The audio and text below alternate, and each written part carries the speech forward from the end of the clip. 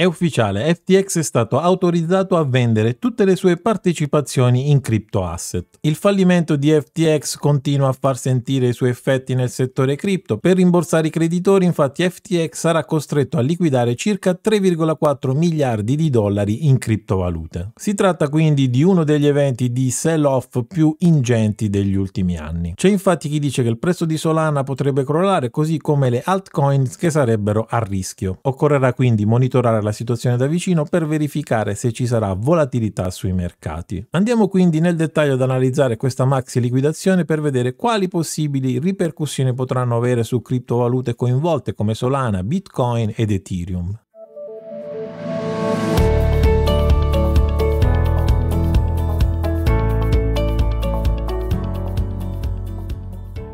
Ciao ragazzi e bentornati sul canale di webeconomia.it in questo nuovo aggiornamento. Torno dopo una pausa estiva abbastanza lunga, pronto e carico per portare nuovi approfondimenti e contenuti su questo canale. Oggi faremo un breve riepilogo della situazione di FTX, l'exchange come sapete fallito l'anno scorso, per sapere se le altcoins sono veramente a rischio. Prima di partire ovviamente non dimenticare di mettere un bel like al canale e iscriverti se vuoi rimanere sempre aggiornato sul mondo delle criptovalute. FTX come sapete è fallito uscita per ripagare i suoi creditori, cioè le vittime di questo crollo, deve liquidare una parte dei suoi asset esistenti. Un provvedimento giudiziario recente, come vedete in questo documento, ha autorizzato la piattaforma a liquidare questi asset, quindi FTX dovrà vendere circa 3,4 miliardi di dollari, come vedremo tra poco, in crypto asset. Questo è il documento ufficiale che è stato rilasciato. Se andiamo nella parte claim overview, vedete che al 24 agosto sono state presentate circa 30 36.000 richieste più o meno di risarcimento da parte dei clienti per un totale di 16 miliardi di dollari. Sotto vedete la suddivisione tra FTX.com e FTX US, ovvero il sito dedicato ai clienti statunitensi. Vediamo che i claim accordati, quelli evidenziati in verde, sono ancora pochissimi rispetto al totale. Ma quello che ci interessa è la sezione B, quella degli asset overview. Come possiamo vedere in questo executive summary in celeste la parte più rilevante è data da questa fetta di 3,4 4 miliardi di dollari in crypto asset. Poi come vedete ci sono altri asset come i bond statunitensi, cash e tante altre cose, ma li vedremo dopo. Vediamo dunque come è composta questa fetta relativa alle criptovalute. Il grosso come vedete è rappresentato da 1,1 miliardi in Solana e 560 milioni circa in Bitcoin. Poi a seguire anche Ethereum, Aptos, USDT, Ripple, Bit, insomma tanti altri token. La notizia ha inevitabilmente provocato timori tra gli operatori per un possibile eccesso di offerta sul mercato. Tuttavia le liquidazioni avverranno con tranche settimanali da 50-100 milioni di dollari per attenuare l'impatto sui prezzi. Su webeconomia.it come vedete abbiamo pubblicato l'elenco completo degli asset detenuti da FTX, una tabella che elenca quindi nel dettaglio gli asset digitali che FTX intende liquidare insieme ai loro rispettivi valori di mercato. Come vedete qui abbiamo Solana per circa 1,16 miliardi di dollari, Bitcoin 560 milioni,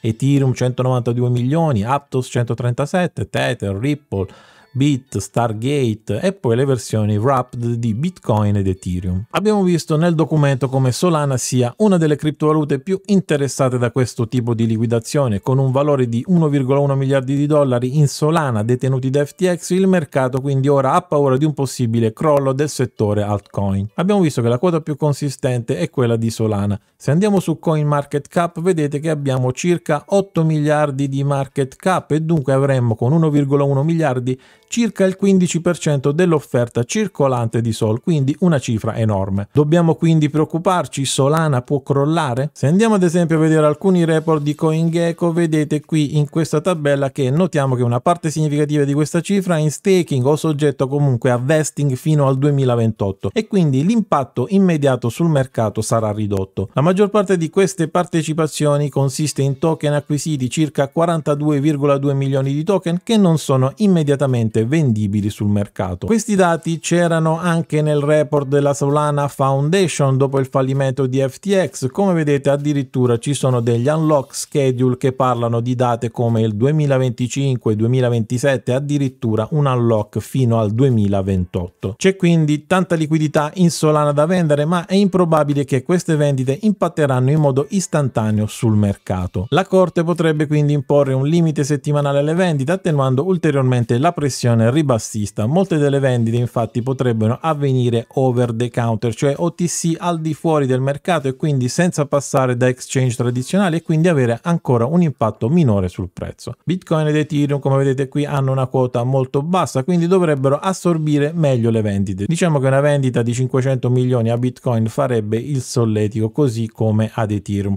Occorre però essere sempre prudenti ma gli impatti potrebbero essere meno gravi del previsto a mio avviso.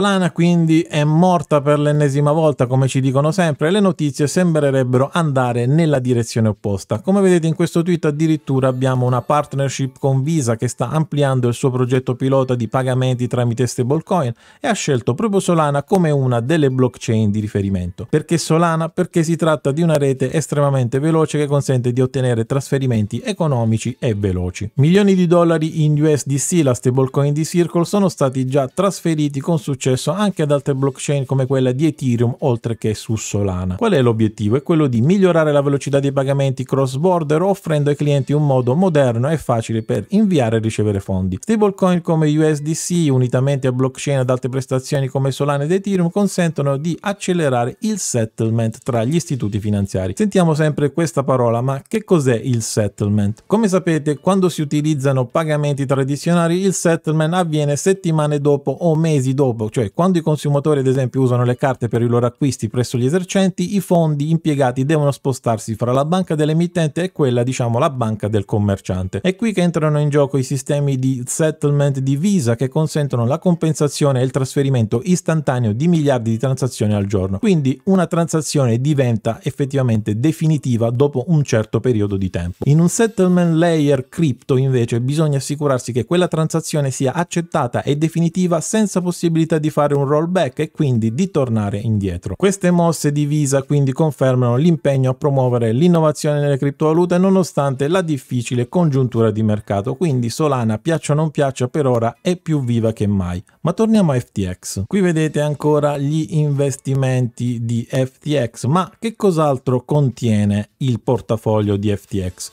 Vediamo che nell'intero portafoglio di FTX abbiamo scoperto che ci sono anche delle proprietà immobiliari oltre ad altre allocazioni. Come potete vedere nella sezione degli asset overview abbiamo infatti miliardi di dollari in asset governativi, quindi in bond del tesoro USA, altri miliardi di dollari sono in contanti, quindi in cash 200 milioni di dollari di proprietà alle Bahamas che troviamo anche nel documento più sotto. Potete comunque leggere questo documento per curiosità e farvi un'idea. Per noi ovviamente sono importanti, come abbiamo detto, la parte questa qui dei 3,4 miliardi di dollari in partecipazioni in criptovalute che stanno per liquidare. In questi giorni ci potrebbe essere ulteriore volatilità sui mercati per l'attesa liquidazione di FTX, ma non solo, anche i dati sull'inflazione degli Stati Uniti che si è attestata al 3,7% potrebbe portare un minimo di volatilità che per ora non c'è stata. Il CPI di agosto si è confermato a un più 0,6% in linea con le previsioni degli economisti, quindi l'inflazione su base annua ha raggiunto il 3,7% rispetto al 3,6% previsto, quindi un leggero aumento. I prezzi del petrolio hanno raggiunto raggiunto i massimi del 2023 e dunque hanno influenzato direttamente anche l'inflazione generale. La Federal Reserve comunque rimane ottimista grazie al dato del calo dell'inflazione di base, cioè il dato core. Quindi abbiamo un contesto ancora negativo seppur stabile anche sulle criptovalute. Vedete qui che nell'ultima settimana abbiamo molte altcoin in rosso, però niente di drammatico. Prudenza quindi, ma senza farsi prendere dal panico, molti ribassi probabilmente potrebbero essere già stati scontati bloccati dal mercato. Quindi per ora nessun bagno di sangue sulle altcoin. Bene, siamo arrivati alla fine di questo video, abbiamo visto brevemente qual è la situazione delle liquidazioni per quanto riguarda l'exchange FTX. La liquidazione quindi probabilmente aggiungerà una pressione ribassista in un momento già complesso, ma probabilmente con effetti meno dirompenti rispetto a quanti molti prevedono. L'effetto di questa vendita di token da parte di FTX quindi potrebbe essere diluito nel tempo, anche se è lecito attendersi una certa volatilità su Solana, su Bitcoin ed altre criptovalute direttamente coinvolte. Bitcoin ed Ethereum dovrebbero quindi reggere meglio, mentre a soffrire potrebbero essere i token poco liquidi. Ti lascio naturalmente i link in descrizione sul sito e tutti i riferimenti per comprare criptovalute ed accedere ai vari servizi. Ti ricordo che utilizzando questi link mi aiuti a supportare il canale. Ti invito come sempre a iscriverti al canale per supportarci, a mettere mi piace e attivare le notifiche per rimanere aggiornato con questo e i prossimi contenuti contenuti. Io ti ringrazio per l'attenzione, come sempre ti saluto e ci vediamo al prossimo video.